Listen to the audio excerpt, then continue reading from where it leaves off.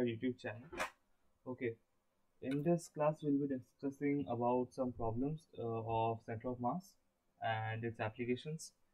These problems are actually JEE problems. They have they have come in JEE uh, in the past few years. It's not just about discussing these problems, but also about the way the lines you must think around during the during the examination because once you do any problem in examination it it doesn't always come right you need to have new ideas you need to like know how to think along new lines while solving any problem. You need to get hold of the strategies along which you should think. So it's more about discussing all those things. And so without any further ado let's start. Okay.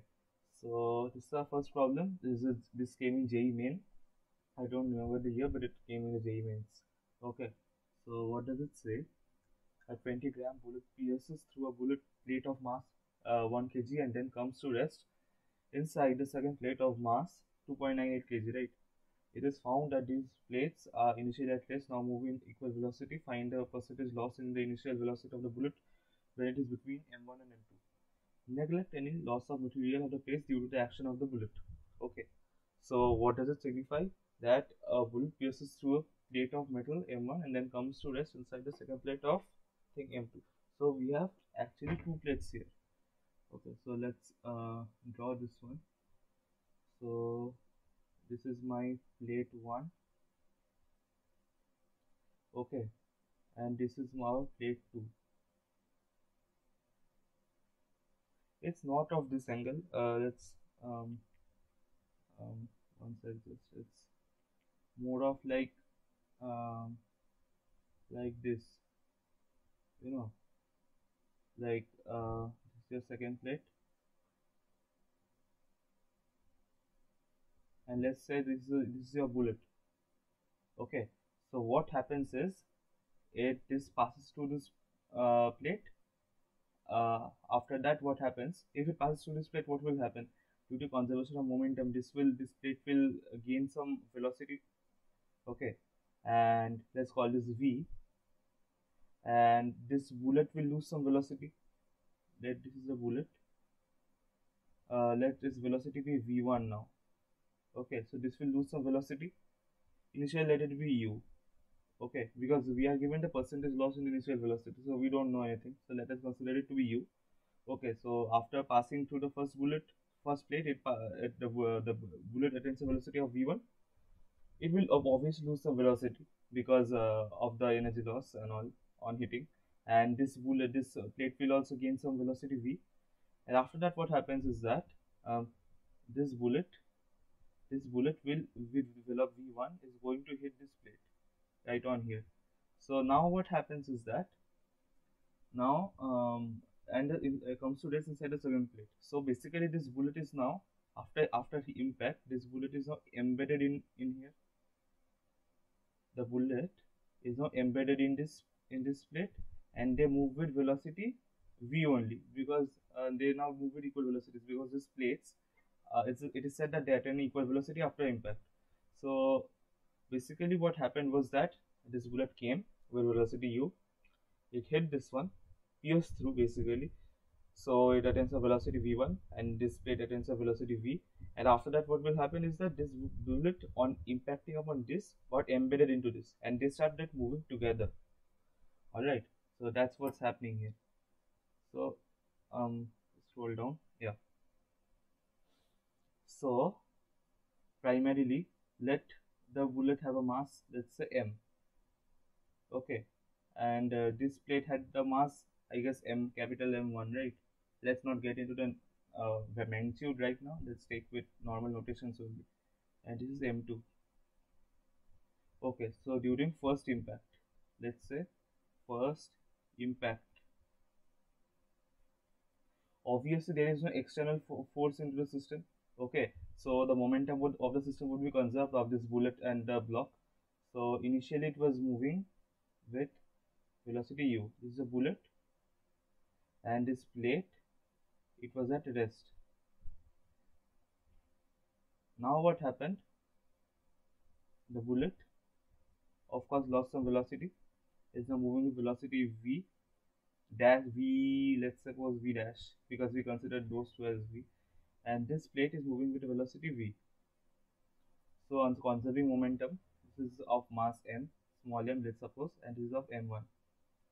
So on conserving momentum, we get that mu thus m into 0 because it was initially at rest is now equal to mv dash uh, which is the final velocity of the bullet and m1 v. Okay. So this is the this is the equation that we get. So basically mu is equal to mv dash plus m1 v. Okay. Now this is our first equation over here. Now we take into consideration the second impact. Let's take this second impact. Now after hitting this uh, this plate now it's moving with velocity v dash. So now initially this bullet bullet has velocity v dash and the other plate m2 uh, plate this is at rest. Right now after impact what happens? This bullet gets embedded into the plate.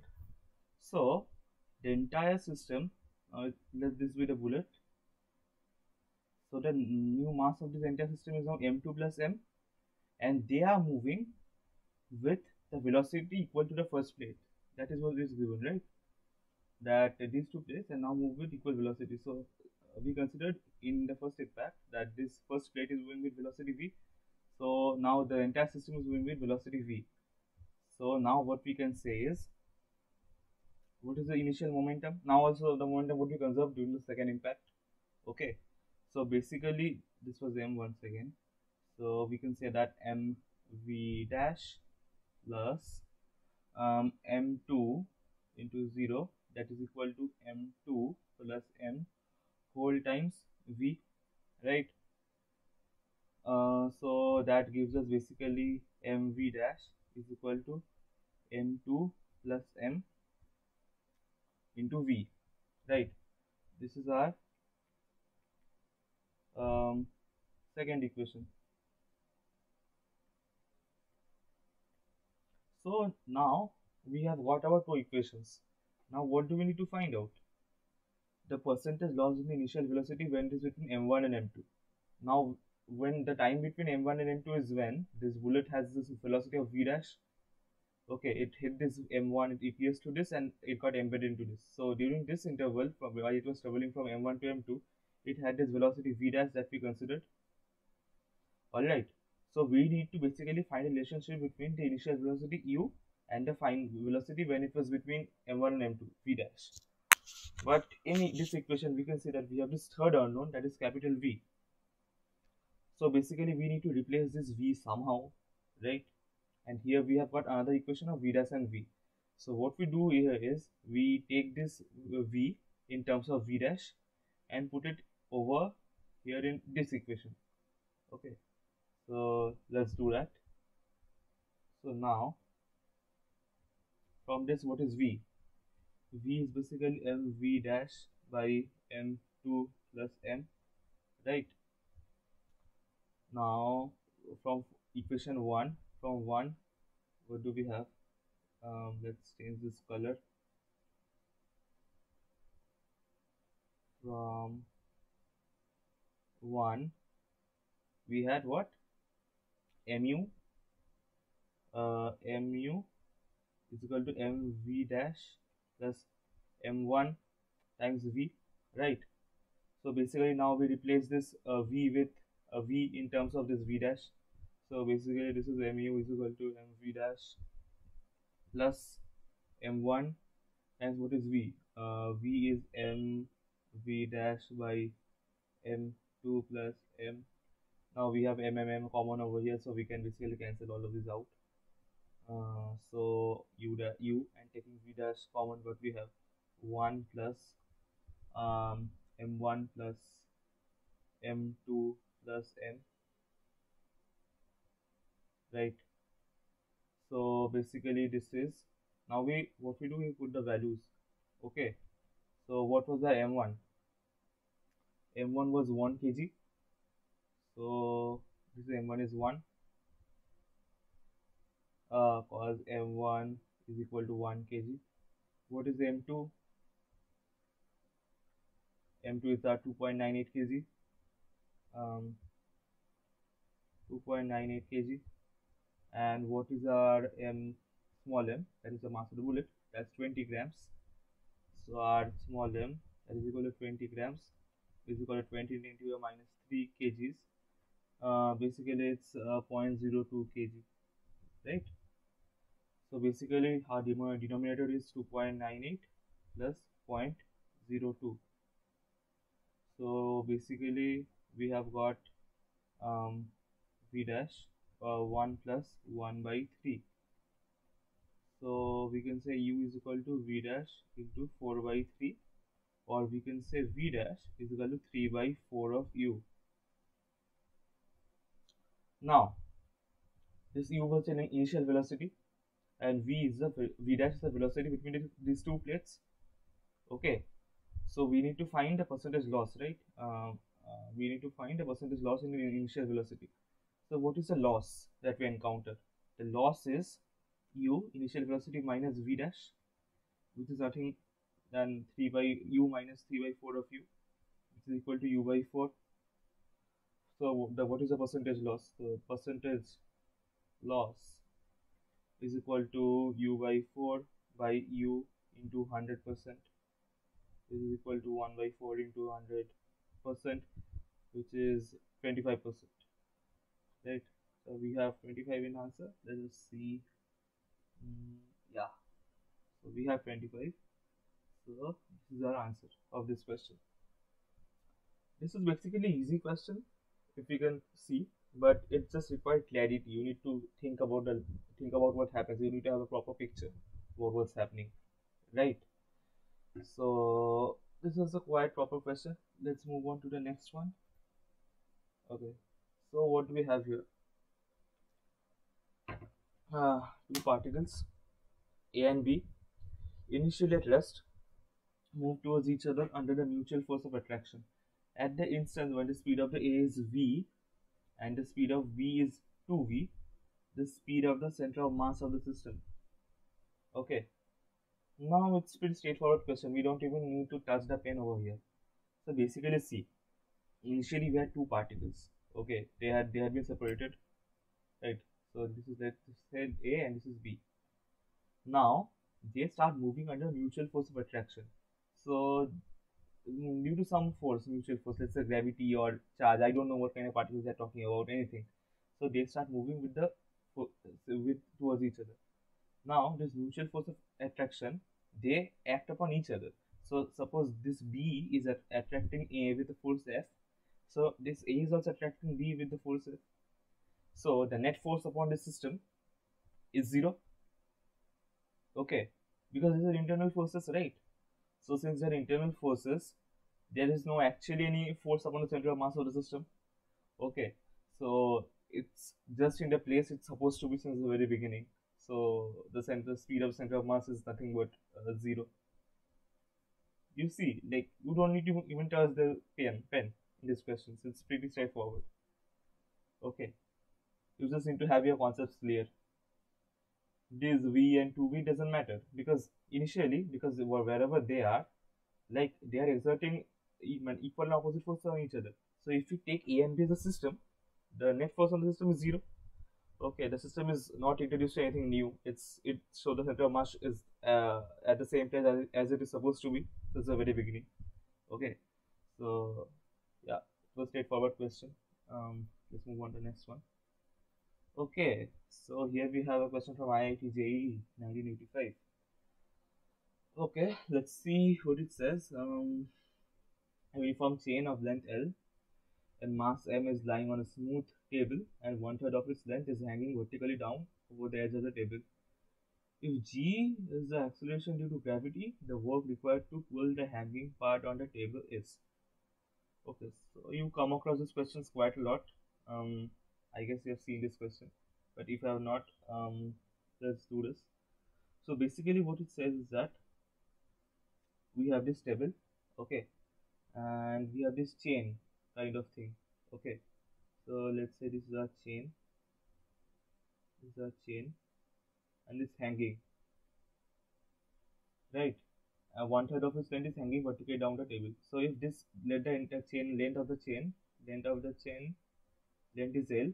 So basically this part l by 3 that is hanging from the table and l l 2 l by 3 is over the table. Right? So basically what we have to do uh, if g is acceleration due to gravity the work required to pull the hanging part onto the table so what you need to do you need to pull this part. This part you need to pull over the table so that at the end this looks like somewhat like this the entire chain is over the table. Okay. So how can we do this? Let's try for some time because if it's absolutely new then it's actually not a very bad question. It's pretty good. So if you're finished trying let's think. Okay so first do let us do this the hard way. Okay. Let's do this the hard way. First what do we have? We have this chain over here in this manner. Okay. So what we do is in the vertical section let's say this one.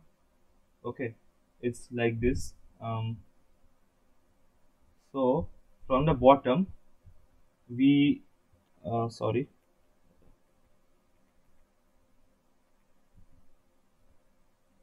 yeah so basically from the bottom let us take a section. Let's say x above x section from the bottom okay. Now uh, this length x. Okay so what is the length mass of this section? This the mass of the section is lambda dx where lambda is a mass lambda x sorry not dx. Um, uh, lambda x where lambda is a mass per unit length. And what is lambda? Lambda is m by l. So the mass of the section is m by l into x. Now what is the work done in pulling this x above by a distance dx? Like if we pull this section with our force with our hand let's uh, say by x above dx above so what would be the for what will be the work done so work done in pulling the length x by a distance equal to dx. That is basically uh, what is work? Work is f times f dot dx. So it's uh, nothing other than what is f f is equal to equal equal to the weight of this uh, block because at this that is the force with which the gravity is pulling it down.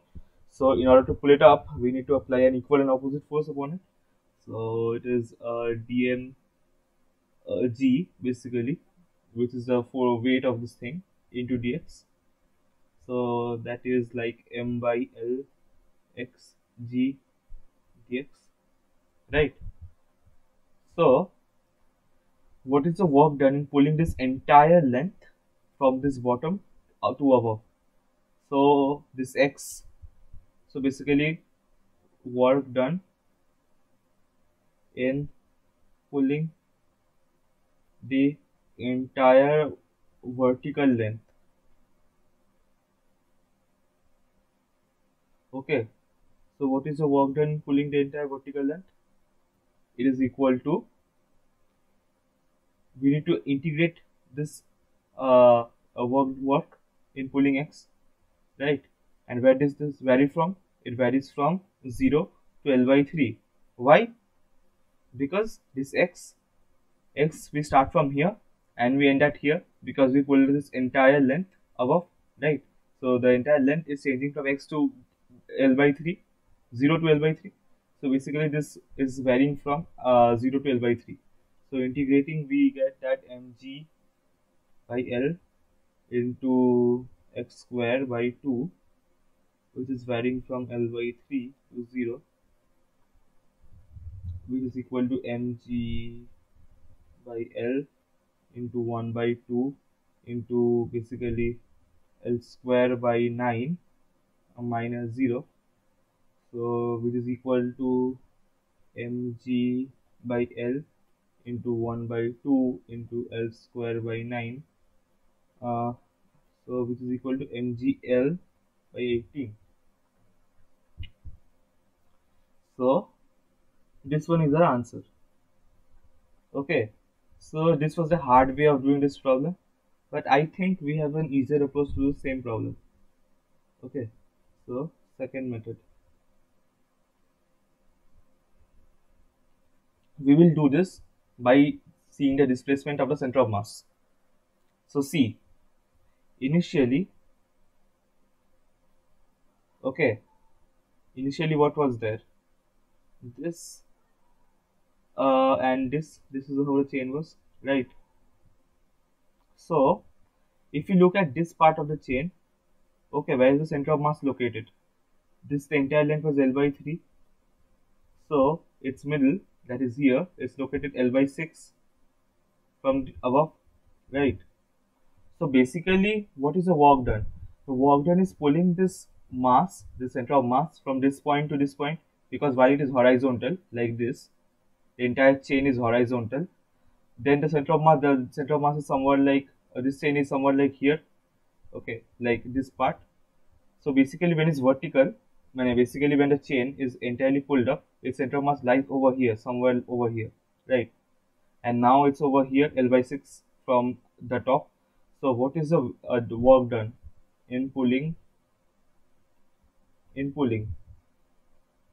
That is equal to basically the mass of this thing into the length of this thing into the in, in, into the height with which height to which it was pulled. So basically what was the mass of this part the length of this part was m by 3 l, l by 3 so the mass of this section was m by 3 fair enough? Because it's a uniform length right? So because if l by 3 is hanging over here then the mass must also be m by 3 fair enough? So m by 3 mass into the g which is the weight. So this is the weight of this thing into its displacement.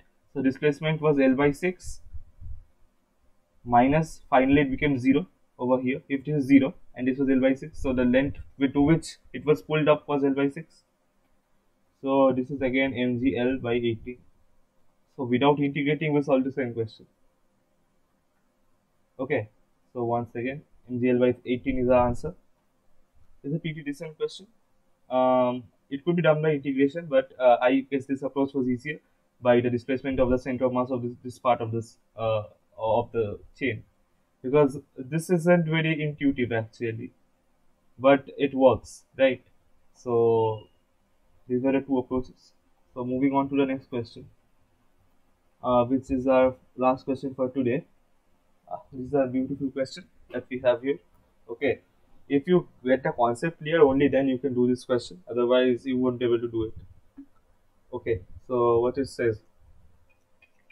It says that two blocks a and b each of mass m are connected by a massless spring of natural length l and spring constant k the blocks are initially resting on a smooth horizontal floor with the spring at its natural length as shown in the figure a third identical block C also of mass m moves on the floor with speed v along the line joining A and B and collides elastically with A.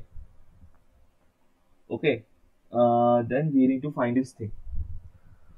So what is happening here? We have A and B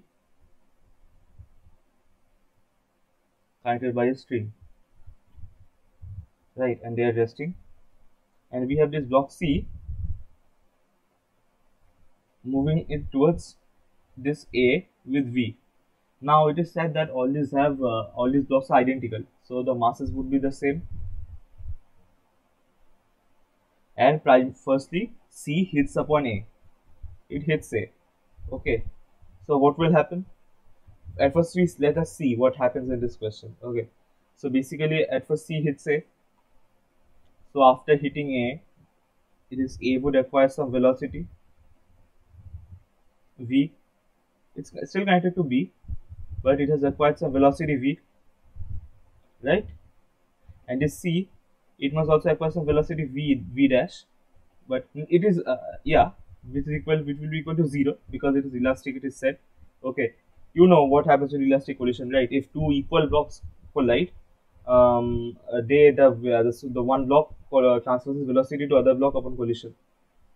Okay. So if you don't know it it's very simple to see. Uh, what is uh, let us say that uh, c is approaching this with v right? So what is our coefficient of velocity e. That is the velocity of separation by velocity of approach. Okay so what is the velocity of separation? Velocity of separation let's say that uh, vc that this is a c block that moves with vc after collision and this a moves with va after collision right? So basically that is it uh, what is the velocity of separation? That's equal to va minus vc and what was the velocity of approach? Uh, only c was moving so it was uh, nothing other than v right? And coefficient velocity equal to 1 so basically v is equal to va minus vc which is the equation 1 now once again there is no uh, external force upon the system. So the momentum would be conserved. So initial momentum is equal to final momentum. So what is initial momentum? That is equal to m into v because uh, initially c was moving with velocity v and a was uh, at rest right? And after hitting what happens is uh, this a attains a velocity va and b c attains a velocity vc so that is equal to m of, va plus m of vc right? So uh, cutting cancelling out. V is equal to va plus vc right? These are two. So comparing you can see that va must be equal to v uh, sorry uh, and uh, vc is equal to uh, 0 right it's very straightforward you can see from here. V is equal to v and v is equal to 0 on solving these questions. So basically c transfers the entire velocity onto a right? So now what's happened? Now we don't need to worry about c. C because c is at rest. Now this a a gets this velocity v is still connected by this thing to uh, b right? It's basically a string of length l and uh, okay. So now what will happen? Here it is speaking about maximum compression. So we need to find when the maximum compression would occur, occur right? So you tell me under what which circumstances a maximum compression in the string occurs? Because see now what happens is va has a velocity. So this a keeps moving towards b okay? And as a result the compression starts occurring because this is moving towards v right? And b b is at rest so compression starts occurring. Okay. But this is a spring right? So when compression starts occurring what happens? The spring puts an equal force of kx let's x is the compression. So it will put a force of kx upon this uh, upon this a which will decelerate this v. So this v keeps on decreasing right? Because the spring force will try to decrease this velocity v it would uh, uh, provide a force kx which would decelerate this a right? On the other hand the same force on he in here kx would now accelerate b because it is at rest right? So the velocity of b starts increasing and velocity of a starts decreasing. And now compression occurs. And when will this compression keep occurring? Right? Till the point va is greater than vb or equal to vb right? Because this then what will happen? This a will keep on moving towards b and b would keep on increasing right? And when and when will this compression stop? When va will be equal to vb you are getting? Because how what's happening here? Because see at first it was at rest. Okay then a attains a velocity v v and compression starts occurring like this. It's further compressed like this and it keeps on compressed. It compresses till the point they starts moving with equal velocity. Okay let this be the v dash and this be v dash. B and a start moving with equal velocity v dash. Then no more compression occurs because they are moving with the same velocity. There is a relative motion between a and v right? So basically this spring force what it does it decreases va and it keeps on increasing vb till the point v and vb are the same. Only then the relative motion will be zero and the compression would stop. Okay.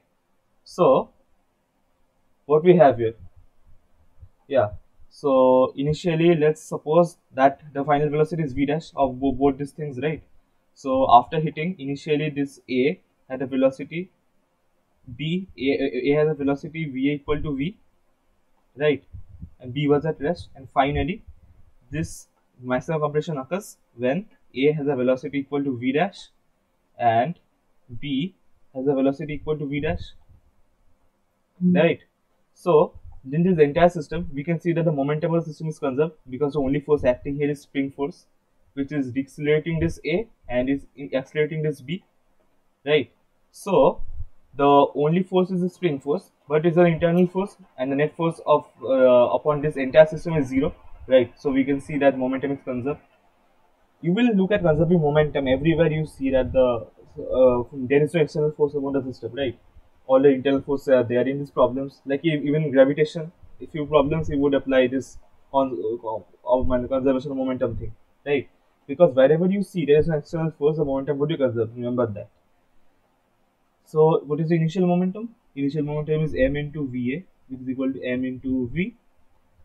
And this is the initial uh, momentum over here. And what is the final momentum? What is the final momentum? Momentum. That is equal to mv dash plus mv dash is equal to 2m v dash okay so basically initial momentum momentum is equal to final momentum. In other words mv is equal to 2m v dash. Uh, so basically that implies v dash is equal to v by 2 right? So this is what we get here so what we are asked uh, the kinetic energy of, uh, of the system A and AB system at maximum compression of the spring is what? Okay. So at maximum compression of the spring what happens? This a has a velocity of v dash and b has a velocity of v dash. So kinetic energy at maximum compression what is that equal to? That is equal to half m into v uh, v square plus v dash square plus half m into v dash square right because uh, this, is this is v dash. So what is the kinetic energy of A? Its its kinetic energy is half m v dash square, and the kinetic energy of V is half f m v dash square, right? So this is nothing other than uh, m v dash square.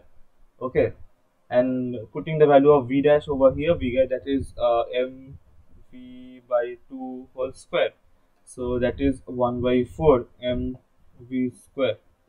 So do we have that option? Yeah we have that option. So this is our one correct option. And let's check the maximum compression of the spring. So during this entire system there is no energy loss anywhere because it is a frictionless thing right a smooth horizontal floor so there is no friction here. So there is no mm -hmm. energy loss in friction. So the energy is conserved.